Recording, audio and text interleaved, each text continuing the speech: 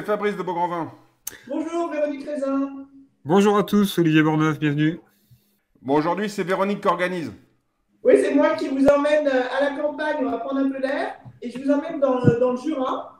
Alors, le Jura, c'est un vignoble que j'affectionne énormément. D'abord parce que c'est hyper joli. Juste pour situer, c'est entre la Bourgogne et la Suisse, pour faire assez large. Il y a 80 millions euh, d'années, c'était une seule et même entité euh, géologique avec la Bourgogne. Ça s'est séparé avec la plaine de la Saône. Donc du coup, il y a quand même une parenté entre le Jura et la Bourgogne au niveau des sols. Mais ensuite, c'est complètement différent dans l'expression des vins. Et j'ai choisi de vous emmener chez un grand maître du Jura que j'adore, qui s'appelle Stéphane Tissot. C'est le domaine André et Mireille Tissot.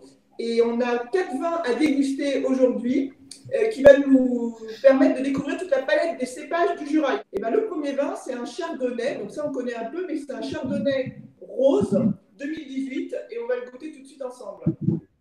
C'est mûr, on est. Hein. Ben, c'est 2018, c'est un millésime assez généreux, effectivement.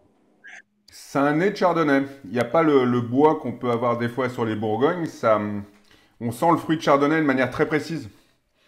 La promesse faite au nez, tenue en bouche. C'est délicieux, ça. Hein. Ouais. ouais. Puis ça a une originalité. C'est du chardonnay, mais on sent qu'on n'est pas tout à fait euh, dans la côte de Beaune. Il y a des notes grillées qui viennent pas du bois, c'est marrant. Hein ouais, le côté réducteur. Après, le petit côté un peu lacté euh, qui amène de la complexité au nez. Le petit côté aussi euh, un peu brioché. En fait, dans le Jura, ce que tu retrouves, tu as toujours un peu ces, notes épicées que tu retrouves dans, dans les blancs qui sont propres aussi euh, au terroir et puis mm. aux atmosphères de cap aussi. Il y, a, une sacrée longueur. Hein. C'est ciselé là, euh, c'est sans compromis. Hein. C'est, euh, on n'est on pas sur le, le chardonnay bourguignon assez, assez arrondi, assez, assez consensuel et tout. Là, il y, a, y a un parti pris de faire des vins droits, stricts et ciselés assez fort. Hein. Moi, je trouve remarquable le, non seulement la densité en bouche, il y a plein de fruits, c'est très riche. Et en même temps, tu finis sur une acidité. Euh, euh, oui, c'est une lame de rasoir en fin de bouche. Hein. Ah eh, Véronique, c'est un peu la caractéristique du Jura, quoi. C'est d'arriver à avoir des fruits très mûrs comme ça, et en même temps, après, cette fraîcheur. Il y a toujours beaucoup d'acidité dans, les vins du Jura, mais, mais, justement, il a cette patte Stéphane Tissot avec les élevages qu'il apporte, qui sait justement arrondir les angles et donner euh, vraiment toute l'expression aromatique maximale. C'est très très précis, comme à la fois au nez et en bouche. Il y a une belle maîtrise quand même. Il a une belle définition du chardonnay assez unique. Quelle note vous mettriez là-dessus? Eh, Olivier, vas-y. Je suis très embêté parce que j'adore ça. Donc j'ai manqué d'objectivité. Et je trouve que euh, ce qui caractérise les grands vins, c'est souvent leur singularité et leur euh, capacité à être non reproductible. Et j'ai l'impression que ce vin-là coche les deux cases non seulement il est très original, en plus il est, euh, il est à mon avis difficile à reproduire ailleurs que dans le Jura et ailleurs que chez Stéphane Tissot. alors. Ah, je, je pourrais tenter vers un 16, 16,5. Hein. Ouais, moi je pense 16. Je prends 16. J'étais à 16 aussi. on est en dessous d'Olivier aujourd'hui. Ouais, moi je suis euh, admiratif de ce type de vin parce que arriver à maîtriser, à faire pur, c'est-à-dire sans trop d'apparat, tu vois, et en même temps à donner du style au vin, chapeau. Hein. Je le garderai bien un petit peu quand même.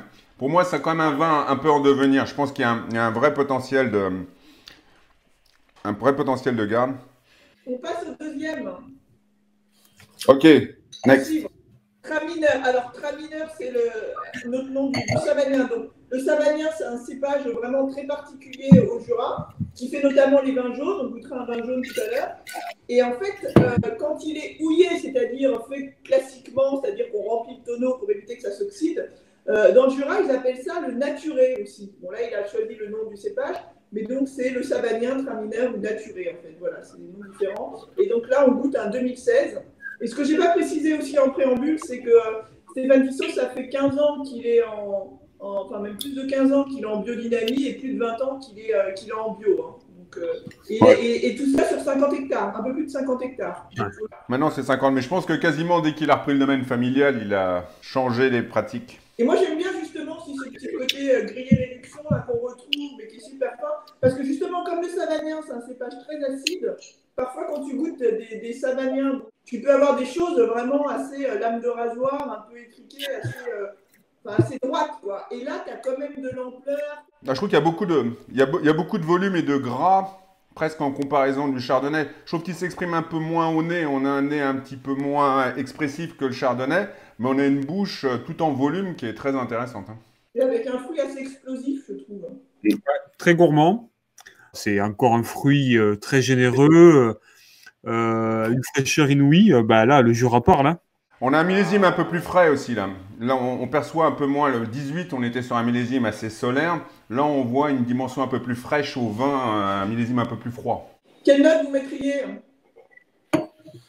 En fait, je me dis que j'ai peut-être été un petit peu, un petit peu dur avec le précédent, qui mériterait peut-être un poil de dessus, mais j'aurais, j'aurais mis un petit 16 aussi et peut-être 16,5 au Chardot finalement. Non, moi je mettrais 16,5 à, à ça. Tu préfères le tramineur au Chardot Bah, j'aime bien, ouais, j'aime bien, c'est pas pour moi que c'est le Jura, quoi. Ouais, mais t'es contaminé, toi, t'es jurassienne maintenant là. Ouais, complètement, moi j'ai ma double, la double nationalité, alors forcément. Et Olivier, tu mets quoi? Je le mets en dessous du chardonnay, mais je pense que peut-être que le, le millésime qui est, participe à une comparaison difficile ici.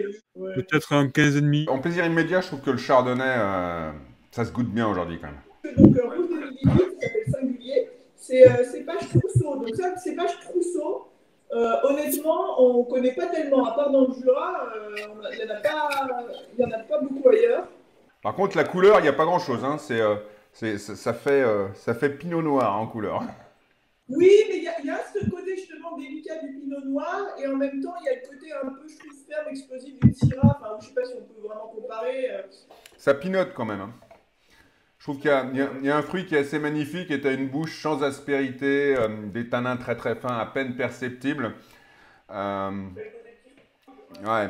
Il y a quand même une parenté avec la Bourgogne, même si on n'est pas sur les mêmes cépages, on n'est pas très loin. Et, sur les équilibres, hein, on, a, on a une trame acide qui est, assez, qui est assez bien intégrée, une belle matière, une belle mâche. Mais ce serait marrant d'ailleurs de voir ce que donne un trousseau en Bourgogne, hein, puisqu'il y a bien du pinot noir dans le Jura. Faudrait voir. Excellent pinot noir d'ailleurs. Hum, très très bon. ouais. Ah, c'est bon ça aussi. hein. Tu aimes ça, Olivier? Ouais, moi j'ai- j'aime beaucoup encore. Je trouve qu'il y a une forme de tendresse dans ce vin. On croque dans le fruit, il y a un très joli velouté, des tanins tardifs, euh, bien enrobés, euh, bien mûrs aussi, c'est important. hein, il ne donne pas de dureté en fin de bouche. Et puis, ce que j'avais pas précisé également, c'est qu'au-delà du bio, c'est euh, aussi, il met, il, met peu de, enfin, il met peu de sulfite dans les vins. Donc, euh, mais on, est, on est à la limite, on n'est jamais justement dans un, dans un style nature qui part, euh, qui part en live. Je retrouve le millésime 2018. hein. Il y a un côté croquant et maturité euh, qui, euh, qui sublime les vins du Jura. hein. Quelque part, je pense que c'est c'est leur millésime. hein.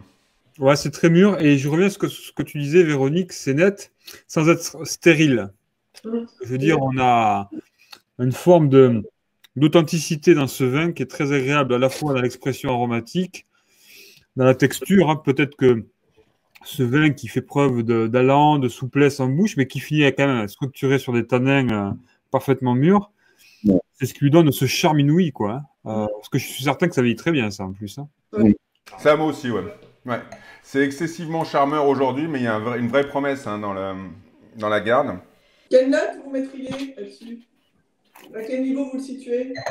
Ah, moi, je suis dans la lignée de- du Chardot. Hein. Je suis pas loin à 16, 16,5. Hein. C'est des vins que j'ai envie de défendre.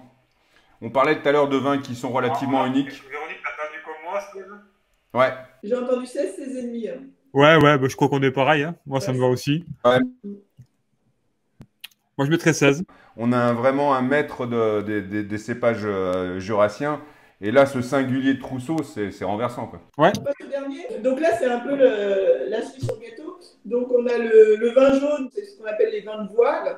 Euh, c'est élevé 6 ans en fût non houillé, c'est-à-dire qu'on ne remet pas du vin au fur et à mesure de l'évaporation, c'est-à-dire qu'à un moment donné, le tonneau finit par se, par se vider. Il y a un voile de levure qui se forme, mais qui n'est pas. Enfin, le voile de levure, il n'est pas, il n'est pas là à 100%. Donc il y a aussi une part de hasard, et puis il faut avoir une ambiance de cave qui se prête, euh, se prête au, au vin jaune. C'est un vin très rare, et c'est un des plus grands vins de, de gastronomie. Et là, on a euh, le millésime 2012. Parce que ça, c'est énorme. hein. La bouche est fantastique. hein.